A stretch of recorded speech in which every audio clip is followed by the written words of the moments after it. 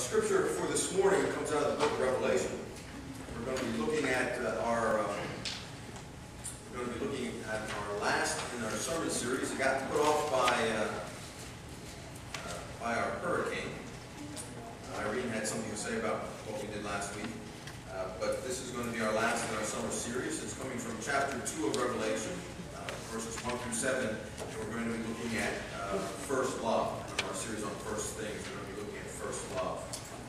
Let's listen to what John wrote as he heard these words spoken to him.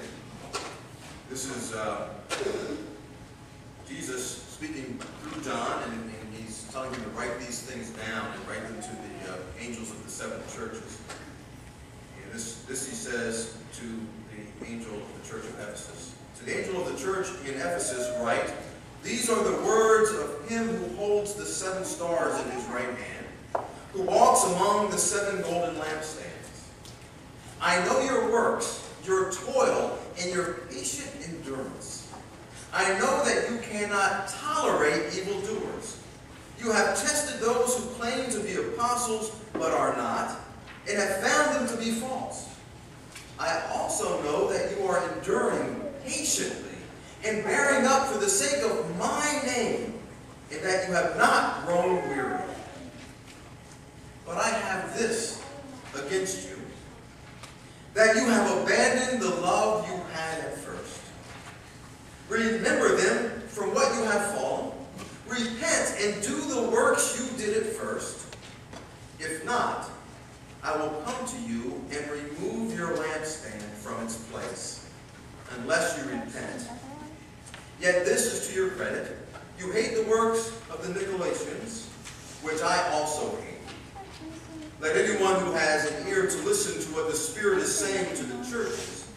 To everyone who conquers, I will give permission to eat from the tree of life that is in the paradise of God. This is the word of God for the people. As I said earlier, we're coming to a close in our summer series, um, our series on first things.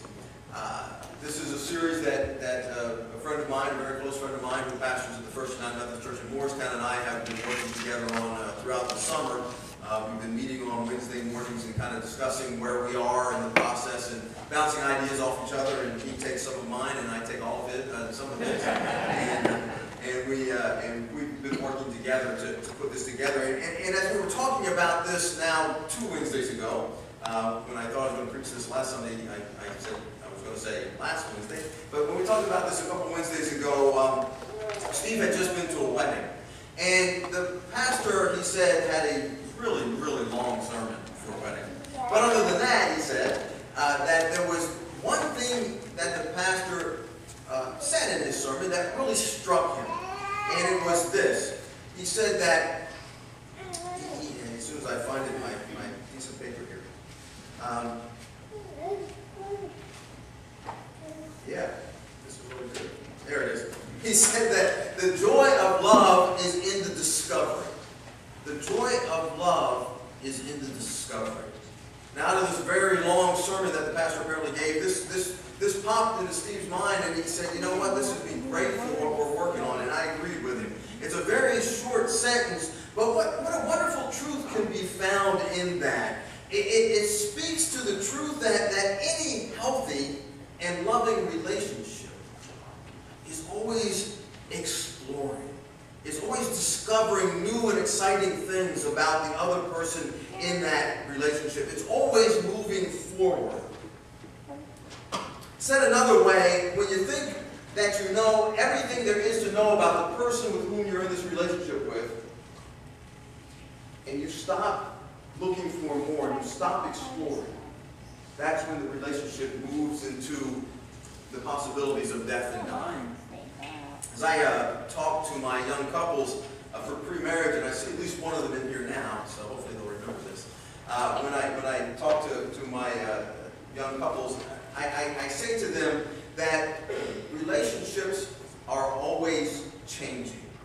They never stay the same. They're either growing or they're dying, but they never stay the same.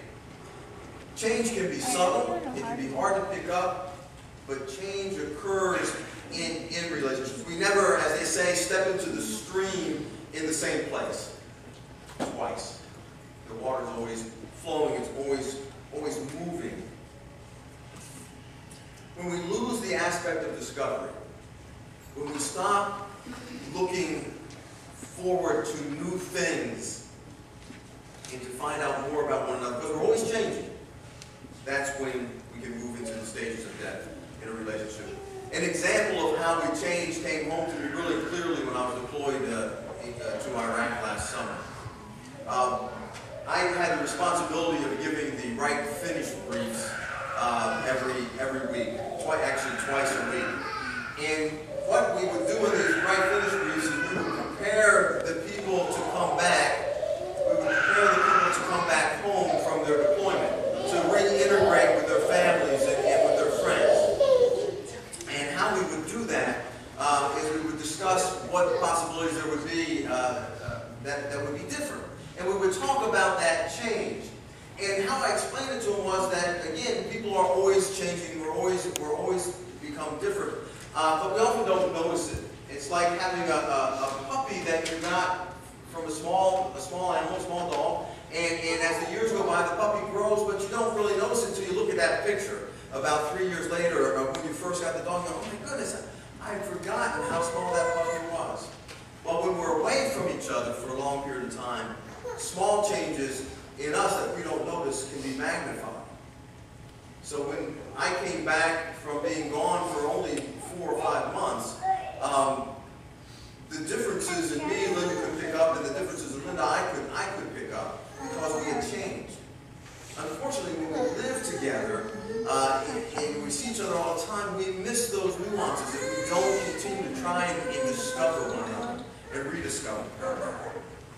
today's text from the book of Revelation, John tells us uh, that, that, um, that he's in the Spirit.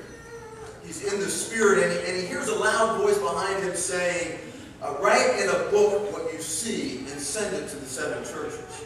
When he turns around to see who is speaking, he sees, uh, the, the, scripture tells us, he sees one like the Son of Man, uh, clothed in a long robe with a golden sash uh, across his chest. Discover that indeed he is, he is speaking to Jesus. Jesus is speaking to John. The first church he is writing to is the church of Ephesus. And in that letter, he, he makes up, he, um, in the letter that makes up the text that we just finished reading this morning, John is told to write some pretty amazing commendations about this church commending this church on, on what it has been doing, what, what wonderful things it has been about. He writes this to the church of Ephesus I know your works, your toil, your patient endurance. I know you cannot tolerate evildoers. You have tested those who claim to be apostles but are not, and have found them to be false. I also know that you are enduring patiently and bearing up for the sake of my name, that you have not grown weary. All of these things are in the present tense. It appears that these are things that the church is still doing, still involved with. If we were to stop right there and not read anything else, we would think that this is a model church that we should emulate, a church that we should follow. But there's obviously more going on in the church here. Jesus goes on to tell the church but I have this against you, that you have abandoned the love you had at first. Some other, uh, some other translations say you have lost your first love. So you have abandoned the love you had at first, you have lost your first love. And then he says something that I find extremely interesting. He says, Remember then from what you have fallen, repent and do the works you did at first. And if they don't, Jesus is threatening to take away the lampstand. The lampstand that represents the church itself. In other words, Jesus is saying, if you do not do this, I'm going to close you down. I'm going to remove you from the body of Christ. You will no longer exist as a church. So if they are, as it appears, still toiling with patient endurance, not tolerating evil, testing those who claim to speak in the name of God and, and, and finding those that are false and recognizing that. If they are enduring and, and bearing up for the sake of the name of Jesus without growing weary, then what are these works you did first? What is it that the Spirit is saying to John, what Jesus is saying to John? Because the accusation against them is that they have abandoned the love that they had at first, I would say that what has happened is they are focused on the works and have completely forgotten about the love relationship with God through Christ. It is what we talked about in, in, the beginning of this message. They have lost the love of discovering their partner in the relationship. A relationship that is always changing. A relationship that is ever growing. A relationship that, if neglected, will die. It appears that their love relationship with Jesus is dying, even though they are living a moral life. They're not cheating on Jesus or going after false gods. They are, they are not tolerating evil. They're not acting unjustly or without mercy. They are not growing weary and are enduring for the sake of the name of Jesus. They continually put themselves out and preach the gospel. But they have lost their love for God. Perhaps they're doing these things because they feel they have to. Part of what it means to be a Christian. I have to do this stuff. Perhaps they're doing it out of habit. Perhaps they're doing them because it's just the right thing to do. Perhaps they're just going through the motions. For whatever reason they are doing them, Jesus seems to be saying, it's not enough. I want your love. I want your relationship. I want your heart. I want you, not just your words. It would be like if I, I brought flowers home to Linda, a beautiful bouquet of flowers, and, and she says to me, what's the occasion? And I say to her, well, I thought it was what I was supposed to do as your husband. I, I, I've got to bring you flowers every now and again. Ladies, does that sell? Is that impactful? Or, or, or, well, I found them in the dumpster behind his flowers. and, you know, I thought, ah, you know, I'll bring them home. Linda might like these. Didn't cost me anything. Actually, for Linda, that probably be the bigger bonus, but anyhow. Um, it wouldn't mean much to Linda if I brought her flowers because I thought that's what I was supposed to do as a husband, that it was part of the marriage contract somehow, that it was in the rule book that, that we had, that this was what I, I had to do. But if I brought them to her and I said, Linda, I brought these because the beauty of these flowers remind me of the beauty of our love for one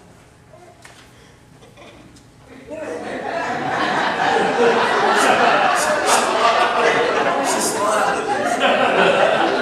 Although, like, more like a sarcastic grin, but... well, if I had the flowers, it might have been a little better. Anyway, uh, but, but really, no, in all seriousness, if there was love involved in the act, it would have been a whole different story. A relationship with Jesus Christ, the living God, is a living thing, a dynamic thing, just like any other relationship.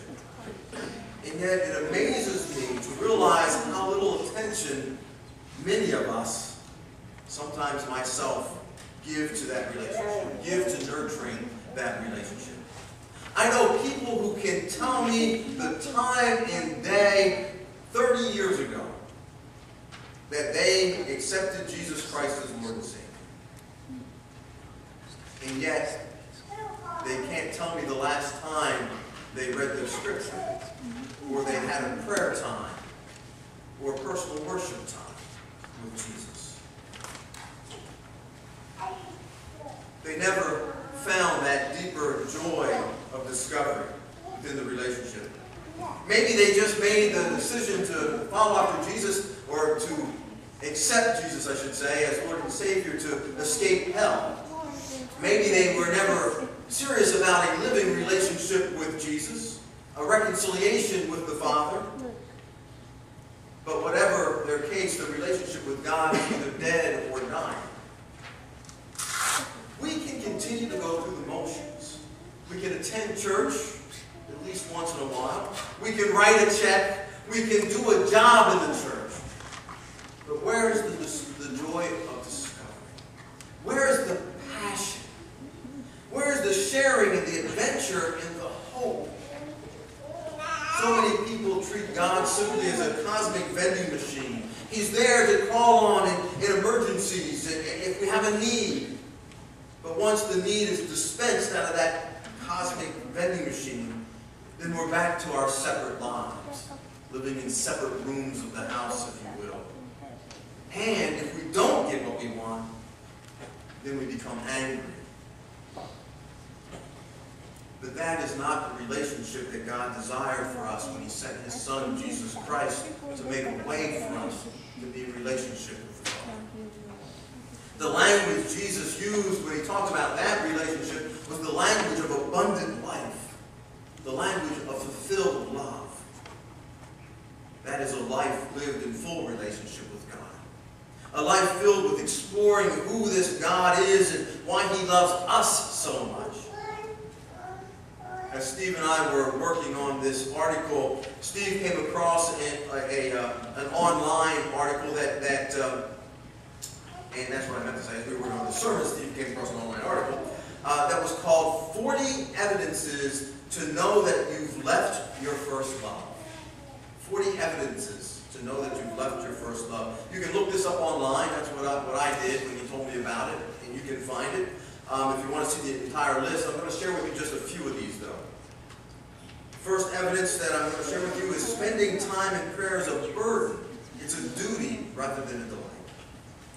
Your worship is formal, dry, lifeless, merely going through the motions. Private prayer and worship are almost non-existent, or they're cold and dry.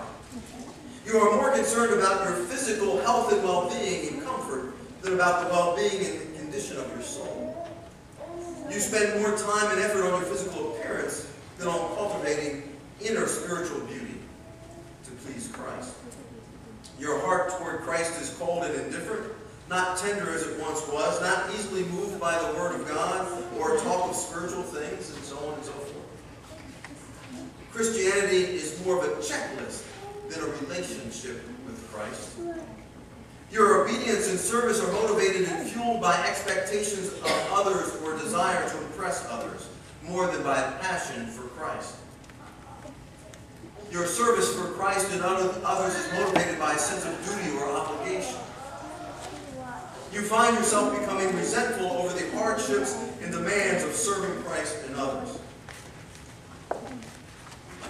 You are critical and harsh toward those who are doctrinally off base or living in sin characterized by anger. You get the idea. That was only 11. There are 40 of these. If you'd like to look them up and, and to see, see what that looks like. Our bulletin cover this morning is from Paul's letter. He's writing to the, the same church, the Ephesians. Now, looking at when Revelation was written, when we believe Revelation was written, and looking at when we believe the book of the, the letter to the Ephesians was written, this is a much earlier time in the life of the Ephesian church. And Paul, as he typically did, prays for this church, and he prays a powerful prayer.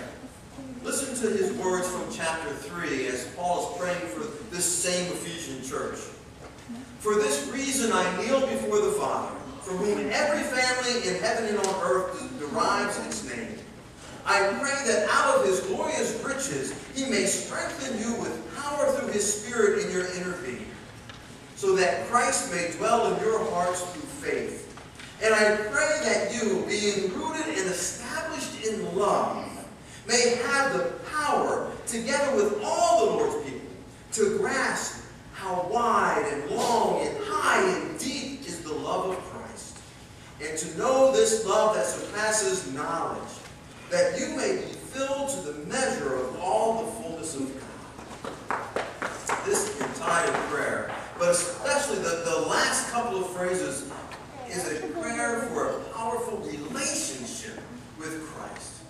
It is a prayer asking that the Holy Spirit would have access into the deepest parts, that's not supposed to be up yet, deepest parts of the minds and hearts of this church. Listen again. And I pray that you may have power, together with all the Lord's people, to grasp how wide and long and high and deep is the love of Christ. And to know this love that surpasses knowledge. You may be filled to the measure of all the fullness of God. Paul seems to be running out of words. Uh, back up slide? That's not supposed to be up there.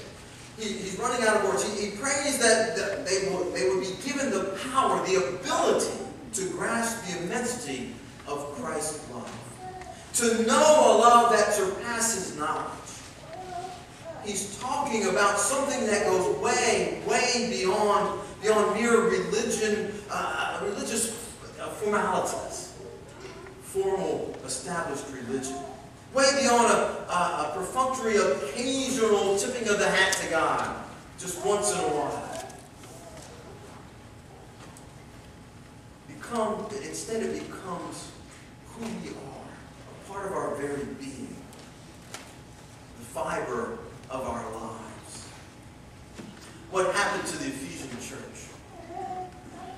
After this prayer that, that, that was given, that we just read, and where they where they became, and, and, as Christ is having John write to the angel of their church, what happened to them? Who, who really knows? But, but maybe the next generation grew up and, and forgot what their parents taught them. Or maybe they just got distracted by earthly stuff.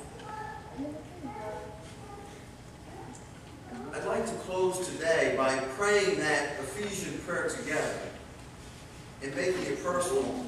Now, when I typed this up, I printed it from this computer, but I never looked at the piece of paper that came out the other end. So if anybody brought a magnifying glass with you, um, it, it, it's, it's in your bulletin. And it's a little insert. It's what, what look like designs. They're actually words. Um, I apologize for that. I saw that this morning and I, and I went, oh my gosh. I never looked at it and I told Katie that they were on the print. Just cut them up and put them in the bulletin never realizing what they actually look like. Uh, so I apologize for that. Hopefully many of you will be able to read them. Uh, if not, wait, if you can now go to the next slide. Um, it, it's also up on the board here, but what I want to do is, is have you read through that uh, one time at least to get a sense of the flow. Uh, kind of personalize this prayer. Um, and, and I, would like you to, to, kind of internalize that because I want to pray together. It's been made personal for each of us as individuals as we read that together. So if you just read that over. And I'll read it to myself through one time and then we'll read it together.